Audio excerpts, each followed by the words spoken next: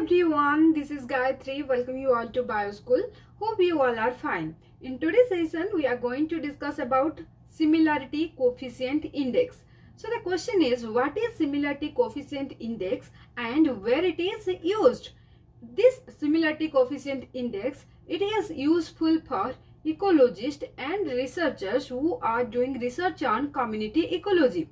So while studying community ecology, they found that certain species or the some species that are common to several communities. Okay.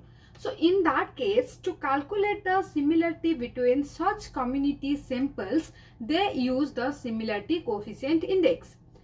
And the similarity coefficient index, it based on the presence or absence of the data. Okay it depends on that the species it is present in more than one community or not. It does not depends on the abundance. Okay. So how many species are present in each community that does not matter here. So here the thing that that matters is the presence or absence of the sample. So that data are used for calculating the similarity coefficient index. So we can calculate the similarity coefficient index by simple plotting a 2 by 2 table. Now I will show you how to plot the 2 by 2 table and what it represents exactly.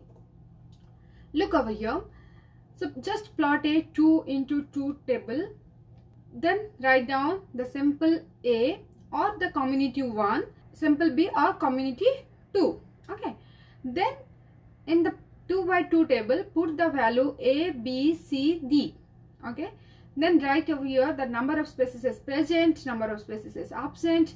Similarly for the sample b number of species is present and number of species absent. So from this table you can now know the what a represent right?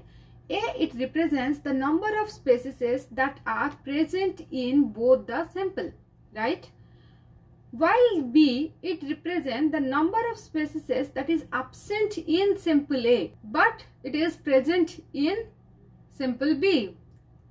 Present in sample B. What the C it indicates? It indicates that the species it is present in sample A, but it is absent in sample B, right?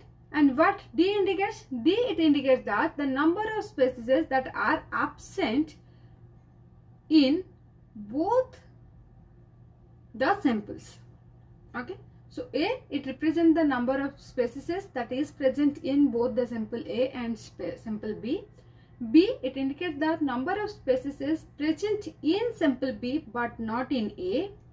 And C is the number of species in sample A but not in sample B and D that number of species absent in both the samples. So for calculating the similarity coefficient index, we have to plot a 2 into 2 table and we have to know what the A, B, C, D mean. Okay. And this similarity coefficient index is to know similarity between the communities. There are more than two dozens of similarity coefficient index are present. But broadly, three similarity coefficient index are used. What are those? Those are Jaccard's index, Sorensen's index and simple matching index. So in the upcoming session, I will make a video on each of these similarity coefficient index with solved previous year CSIR net question.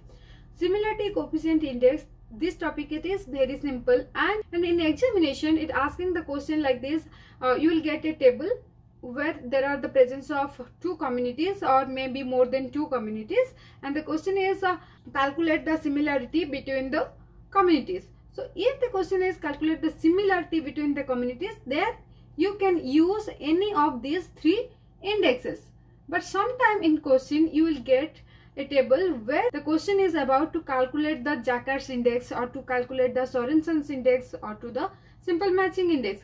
In that case, you have to use the particular formula. Thank you so much for watching this video. Hope this video will definitely help you a lot. Still, if you have any confusion regarding this topic, then please put a comment in the comment section down below. And please do share with your friends and don't forget to subscribe my channel. Bye bye. See you in my next video.